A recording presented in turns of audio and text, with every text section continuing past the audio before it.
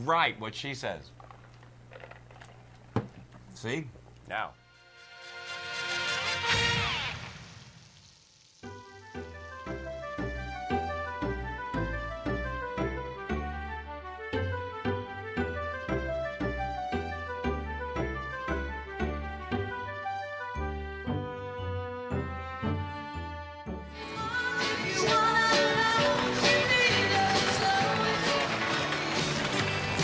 Taken for granted.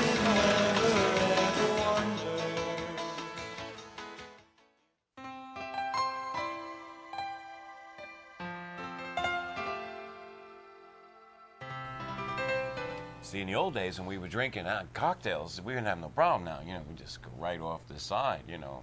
Oh, man, I watched this thing on net. What? We actually have nothing to talk about. so, How can you say well, such a we're thing? gonna. You know, Anybody that watches this show knows that. Normally, Wizard Wiz comes in Oh. with a whole laundry Yeah, list list. of the, and I look at it, and Oh, it's usually great. like half the stuff is politics, and I'm just like, oh. Not like- today. And today he's like, I got nothing. Okay, cool. But by mentioning the list, you reminded me of something that I definitely want to get into, and that is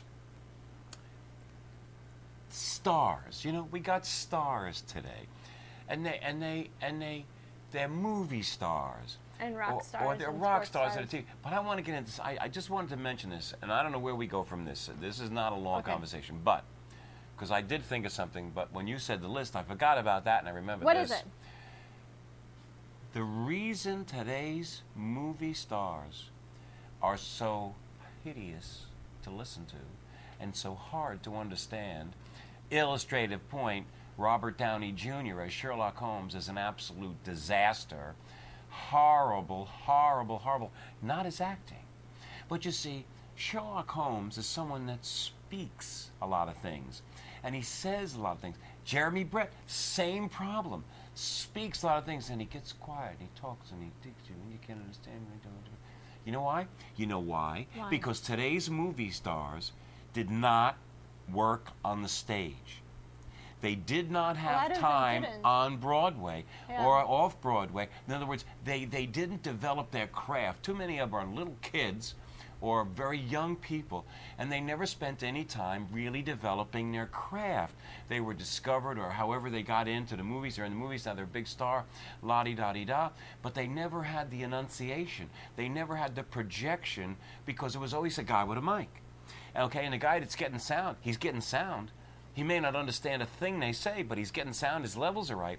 And But- then they now in, in modern times they can go back in and do playback and record over and Yeah, but they do, but they don't.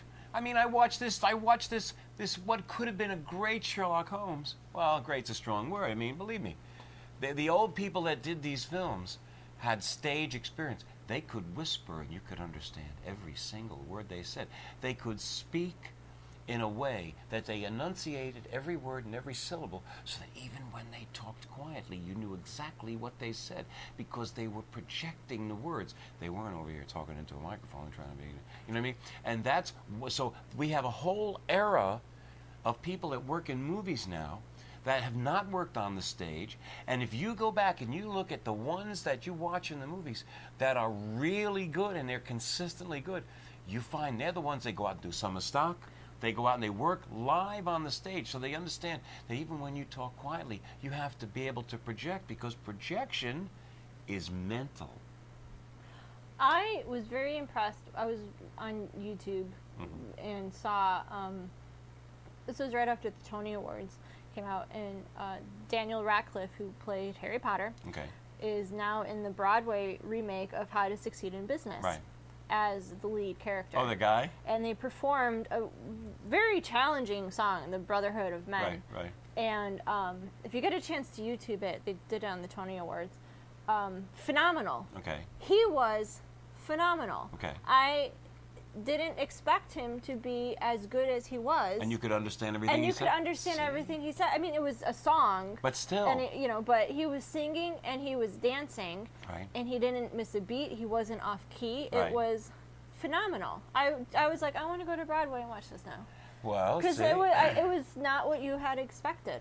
You know, it's like I, I have a, I have, there's a place where I work, and we, we have a we have a in one of the areas that we work we have a, a plaza, And when I'm over here, over here on this side, there's a there's a little uh, little booth, and th- there's a booth that has a microphone, and Those has a person that talks and the microphone and talks to the people in the plaza. Here's the problem. First of all, most of those people, English is not their first language. Okay, but could I just finish, Finish what I was trying to say? Yes. Thank you. Okay, finish. I can stand here and cover that plaza by myself. Without, Without the the mic. microphone. Yeah. The- with the microphone, you can't even hear because they because a nobody has taught them how to properly use the microphone. Okay, because there is a way they can get much better volume Right. out of it than right, right. It doesn't work. And and also, you know, and all, now and also technically, they should be in more speakers than where they are too. But I'm just saying. So I mean, and that's another thing. But Joe, now, ooh, you made a good point. That's definitely part of it, because with some people, English is not a first language. Right. And that It's I. Uh, I mean, go. I when I go out to eat and you have to put your name in, if the person who's taking my name, because I always have to spell it, um, if English is not their first language, I give them a different name. Good for you. Because- Smith. Yeah, because they. I don't know how I could. I will say it is D as in dog. Right. Y as in yellow. Right. And then you look at the spelling and they put like a P and a Q in there. I'm Yeah, like, right, right, I didn't even say Right, that. Like, where did you get that from? Right. You know? And so I'll be like, Smith. Yeah, it's easier. Natalie Smith. Natalie Smith. It's just easier. Then you go in and say, you know, and you get your table. One time I, I used my, um, I don't know, I guess you can call him my boyfriend, my boyfriend's last name. Okay. Because it was easier to enunciate. Okay. And uh, and then then the lady goes, "Well, what's your name?" I'm like Natalie. 'Cause She asked me what my name was, Right. and then they, the ticket, and they left the ticket at the table. And My boyfriend comes and sits down. He's like, "Why did you give my last name and your first name?" And I'm like, "Don't read into that. Don't read into that. Don't read into it." Here. Yeah. Marry me. Yeah, no, like, so then I had to go through the whole thing. I'm like, no, you don't understand. Like, let me explain to you what happens when I try and spell my last name, and I could like hold it up on a big sign and say, Right. look, Right, and they'd right, still misspell it. I Right. said, yours is just you didn't have any letters that they could screw up. Right. It was just easier. Yeah, because apparently B, V, E, Right. Q, P, right. Right. and R all sound the same. I feel I sense a little hostility, Angel. It's very Uh, frustrating. okay, I bet Very you it is. I'm sure it is. oh, so so to, to just tie that off, I think that these people that that want to be stars, that want to be more than just stars. Okay. A lot of them are going back to Broadway and stage. Well, they, they need to they need to get out and and learn how to enunciate. They need Mm-hmm. to learn to how to develop diction, because just because they can mumble some words, you know, they're not Hunter Thompson. It's all you about. I mean? It's not even like public speaking. Yeah. When was the last time, and not being on a talk show, that they stood up and just talked to a crowd of people? If yes, and talk and understand. Do you know what the biggest problem? I have somebody. I have Victor. Don't watch this part. I have. A, I love Victor. Okay, and I found out the other day what the problem was. I didn't realize what. Victor is a is a wonderful guy that we work with, and he has a bit of an accent. You know, that stayed with him for the past thirty Not years. just big. It's Okay. ginormous. And it's hard. I love you, Victor. You know, he's the best. But it's a little bit hard to. Oh, if Paul and Paul, if you're watching this, I told Natalie about. I mean, Angel about the uh, the, the pregnancy show. So we like that you're watching the show. But anyway, so back to Victor. It's hard to understand Victor when you're standing face to face with him. Right, so- and then we have these radios. Right. That you know eh, they're radios, and, And so they- like yeah. everything comes across crystal clear on that one. So it's even harder to understand him. Right, and it's and it's and it doesn't come across crystal clear. It's a radio, and it comes across like it's on a radio. And I realized what the solution was. So I saw him the other day, and I said, Victor, you know what the solution to your problem is? Speak slower and end your words. You know how we all talk. We talk. We run words into Right. words. Well, he was trying to get across to me, and he was, and you know, this is a this is a, a beautiful guy. Mm-hmm. Who he oh, I loves him. America. He's He- fantastic. he's nice to the people that he worked. You couldn't have a better guy to work with. He's brilliant. and I just feel, so- and I feel, and- but it's tough when I'm trying to talk to my kids. So by the end of the conversation, he was speaking to me like this, and I understood everything he said. So I said, now I don't know if he paid any attention to me, but when I went back and I saw him, I said, Victor, please, if you just speak a little slower and end your words, people will have no trouble with what you say. And, and, and, and that's, that's, that's the kind of problem with these people. Then they're acting. I like to do grammatical checks in my head Okay. when I listen to songs on the radio. Okay, like? Um, There's one song. Because singing is not the same as talking. Right, but it'll be like some, there's a song that talks about, you know, lay let me lay you down next to me. Oh, great. You know, it's like no, you you lie down. A Lie human down. being lies down. I lay this cup down on the table. Right. Well, that's what he means. He wants to lay them down. It's well, it's whatever it was. Right. It's wrong. Or there, you know, this, you know, you listen to the. I, I just like to listen to the. Well, mu- but music- like, you could, you could change. well, but, and that that's That happened. rhyming doesn't make sense. Let me tell you, as a songwriter, you become very sensitive to the word. That's how I really learned words. And you know how I really learned words? With the with Tink. Uh, When I wrote a couple of songs with her. I mean, I wrote the songs, and, and, and she's a real wordsmith. She was going to be a lawyer, and she would point. She would say, "Well, how about this word instead?" And that's when I really started to pay attention to it. Now, I had always been attentive to the words, but that's what really gave me the insight to, to real because words, uh, they use this in Da Vinci Code too. You know, words, a picture's worth a thousand words, but what, do the, what does the picture mean?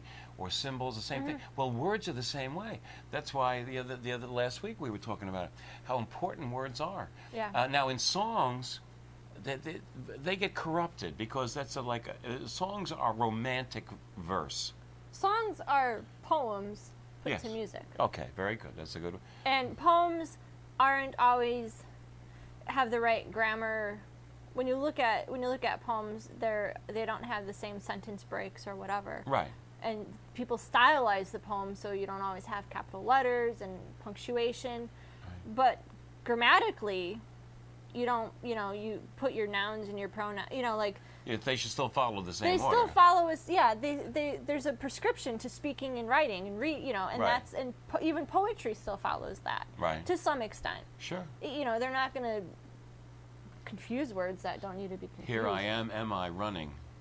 Okay. Something like yeah. that, no, yeah. no. But I know. Yes, I know what you mean. Yeah. You kind of, kind of have words because we expect to hear, you know, yeah. words. if you want way- people to listen to your song Right. it has to make sense to us Oh, oh, let me, this is just a footnote. I, I always think about this, and I've always wanted to draw a little cartoon to highlight it.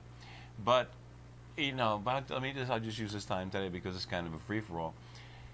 You're, let's say you're s- single lingual, you're not bilingual, you're single lingual.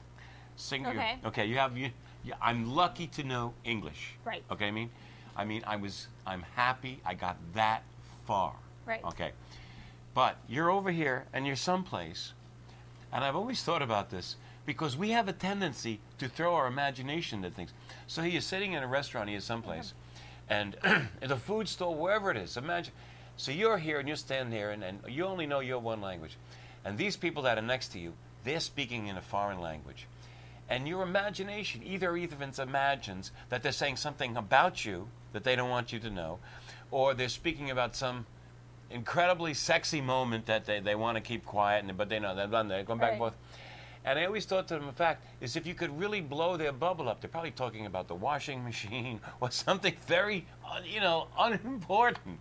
But they're more comfortable in that language. They're not necessarily doing it because, i know. think that about my cats sometimes I mean, like i watch them i wa- I, yeah i spend a lot of time watching my cats because i don't have a lot else going on but like I, you know lucy who is like probably the smartest and dumbest cat in the household at the same time but, you know she just she does weird things and i just want to you know i want that bubble going what the hell is she thinking right, right. you know right, like right. what is she thinking when she decides to jump from a mattress to like you know like she does you know like you know you can't make it Why did why you did you try Oh, oh, oh! In the potpourri segment of the se- oh, I don't want to lose that. What was that? Well, oh, oh, oh, oh, oh, oh.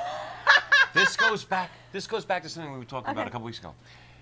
This, we have a tendency to input our our to put things on, like when a child is crying, and because this is like what you were talking about before, the, the, the kid gets loud, and the mom gets louder, and then back and forth, and it escalates out of control.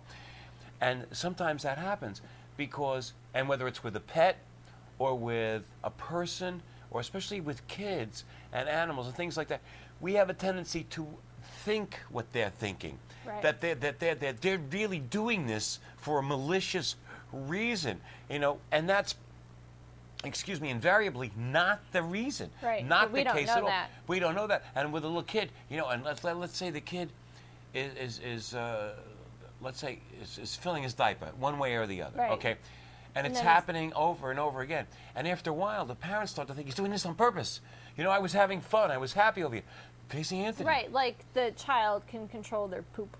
Right. Okay. But I mean, but you can see how something like that could escalate, and that's why I think. And this, that there was a, there's this horrible story on uh, uh, Casey Anthony down in Florida, and uh, her child died, and we nobody knows what's going on, et cetera, et cetera, et cetera. Everybody thinks that she did it, or but at the same now you got to keep in mind that I don't know what the facts are, but I do know that she's just a little girl too.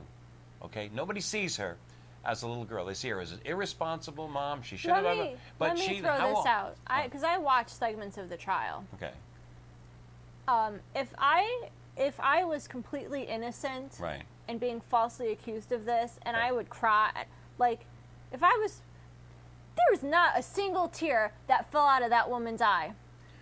Well, I mean, I, I don't I, know. and she pretended she pretended to cry. You look at that tape, she pretends to cry, and if it was me, I'd be going through boxes of tissue every day. Right. She'd have one in her hand for the entire trial. Like really, Well- there's something. There was something not right there, and I think that um, the jury, because she was um, found ever- not guilty. Did they ever prove that it wasn't the father or the brother that was the father? I would not be. so Um, that, there's all kinds That of no, that was false accusations. That was the lawyer because the the lawyer. They did in trouble. suggest that. the lawyer suggested Casey's lawyer suggested that there was um, abuse or Yes, like her dad, abuse. but um, But did either one of them suggest that he might have been the father? no, no, because he got in trouble for suggesting that there was abuse Okay, well, I'm because just. it I was still false. Because it was false. Yeah, but there's still there's, so there's still a little gray area there, and I don't yeah, want to brand them that. I just. There's a, here. Here's the big thing: is that it was a highly media-based trial. right. the um, jury only saw about half of what was We saw. We saw, so we had a lot more judgment to give. Right. Um, and based on their, you could not prove without any doubt Right. that she did it. Right. So there was enough. There wasn't like, I said, there wasn't enough evidence. They Right. looked at it and they Right. were like, There was enough you know, reasonable doubt for her to escape. yeah, but but I think that if they had seen Right. everything, Right. They would have done a guilty conviction. Well, the point that I wanted to make. uh, Sorry. on, no, no, You I'm glad. it. No, no, no. Just no, someone told me I looked like her. Really? Yeah, at work. I don't- why? I don't think so. I don't know. He goes. This guy comes up to me. He goes, "Do you uh, do you know who Casey Anthony is?" This is in the middle of Right. the trial, and I'm Right. like, "Yes, sir, I do." Yeah. He's like, "Are you related to her?" And I was like, Thanks a lot. "No, sir," and I'm quite insulted by your comment. Good for you. I didn't, and I wouldn't, and I wouldn't help him. He had asked me to, you know, and I was like, mm, "You have to go farther down and talk to somebody else. I will not partake." I Oh. refused to help him. Oh, you I was are so insulted. You are. You. You. Because then he, yeah, She's oh, frightening, was, she? She seems so nice, I was she? very insulted. Uh, anyway, the point that I wanted to make, which I don't even know if I remember it anymore, okay. was that she, who knows? In other words, in other, in other words, this this might have been. She, you know, she's she's she. No matter what else, she is still a young person. She's not old. I don't know how old she is. She's in her twenties, I think. She's still young, and she did get pregnant by somebody. We don't know who. That to me is amazing. She knows who okay, or she knows the range of who if she doesn't know who, um, and who knows? I mean, that's the point that I was trying to make. Maybe she was in the middle of doing something, and she was having a little bit of time for herself, and she was having, and the baby acted in a certain way, and she reacted the wrong way, you know. And she, yeah, she reacted the wrong well, way. Well, I'm just saying, I mean, because that's how these things happen sometimes. They're, and I mean, they're not always malicious. Sometimes they're stupid, that Zanny, the nanny, the word Zanny right? is the street name for Xanax. Okay, now tell me how this plays in. She was saying that Zanny the nanny, she had Zanny the nanny watching her child. Oh, you mean she'd been giving her drugs, and one time she gave him too much? Gave That could be. drugs, knocked her out, and put the girl in the trunk so she can go out and party. Right. And one time, And one time. what I think what I think happened is one time she gave a little too much. Um, trunk in Florida, that's it's hot. That- that kills it's you. Hot. It'll That kill. is so I think that. oh, that and then they, really Then she realized, uh oh. So then she, then she was like, crap. What am I gonna Excuse do? me. Put her in the playhouse, but then realized, oh, I can't leave her in the playhouse because somebody's gonna right. find her and not know. So then put her back in the trunk and then buried her. That is horrible. That's what I think happened. Well, then I can only hope that she gave the little the little girl. Oh, see, I didn't know that's anything. Then and then then then she Freudian slipped out, and that's what she's been doing. She's been drugging the kid to go out and play, and one time she overdrugged him. Well, let's hope that if she did overdrug her, that that's how she died. She didn't burn up in the trunk of the car. No, she was she suffocated. Oh, that's She hideous. That's horrible. Yeah. You know what I mean? That's I mean, what I think. That's how I got in trouble with Dr. Fontana because he wanted to stop abuse, and I was saying string him up. You know what I mean? But the point that he was making is that very often it's people that have been abused that abuse, and you have to break that cycle. And it's hard. It's not because we only Yeah, that have whole family is something not right. yeah, we, we have we talk about skill sets and stuff like that. You, oh, you made a good point off of last week's show, and I wanted to just highlight it again. There is a wealth of information out there, okay, Oh, and yeah, I'm not talking. about yeah, you're talking about go yeah, and, and I'm not talking about trying to find out about chloroform to help No, you with your children. Right, that's wrong. Okay, but the, uh, let's just tag into that a little bit, a little bit more on that. You were talking about, you were trying to suggest, or did you actually suggest to these I folks? bought the books. You bought the books. I bought the books for them. Okay, now what, said- what, what, what were we talking about? We were talking we were, about. ta- we were talking about teenage boys and raising teenage boys and Okay. teenagers, but specifically boys and their emotional problems and stuff. And Okay. uh, there's a family that I'm good friends with the dad who's got problems with the stepson. okay, The stepson comes to my house and um, helps out with some jobs that I need okay, done. Excuse me, such as like um, restaining a dresser and things like Okay. that. So um, you went online. I went online and I went to Amazon.com and uh, searched for teenage parenting books about teenage boys. Okay, And there's, you know, a, bunch of th- there's you know probably hundreds of thousands of them, Right. but they pick the best ones that pop up first. And Right. you look at the star rating, you look at customer reviews. right.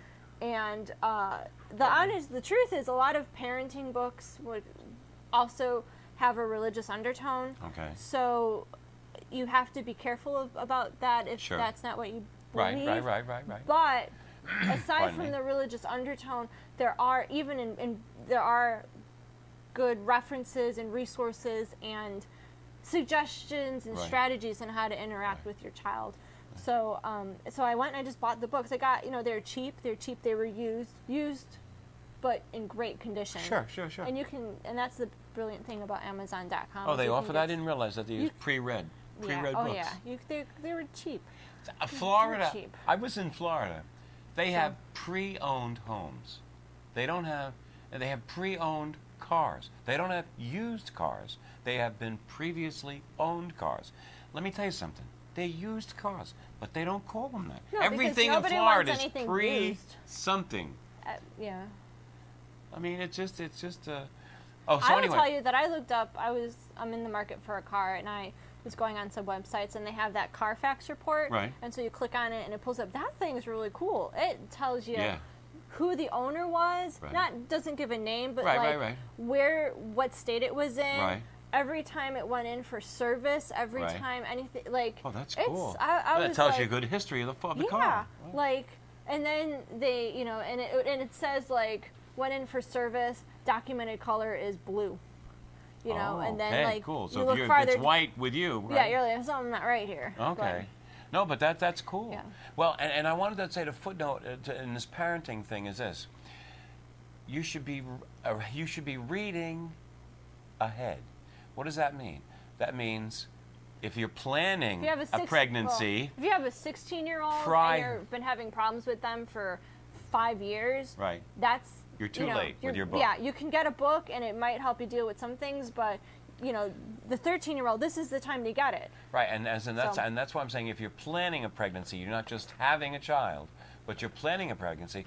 Now is when you should be reading about the kind of things that will help you raise the child because Yeah. we've spoken how many times that kids don't come with a manual, but you need a manual, and and your your life and their life will be better if you take that time, and then you should be reading those teenage books when he's eight and nine and ten, so that you're ready for that stuff when it comes up. Because there's got to be a, a way to have. I mean, listen, I loved my folks the whole time, but you got to realize, by 18, I was out of the house, living in New York City. And let me uh, let me tell you something else too is, um, and this is I always, my parents did this, and this, and this is hard to sound not, you know, cruel, but church isn't always the answer. Okay. And I think a lot of people look at, oh, I'm having problems. Let's just go to church, go to church, go to church. no, no, that's not. And that's not an answer either. that's Um, not even dealing with the problem sometimes. Right, but I think some parents use that as an escape because I can't tell you.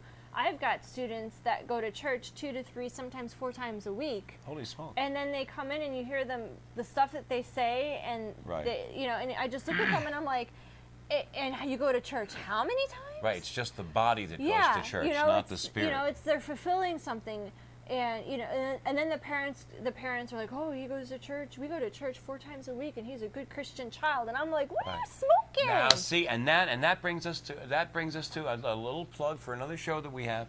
Uh, I have some shows up here on YouTube. Uh, Angel and the Wiz, no spaces. Angel and the Wiz, no spaces.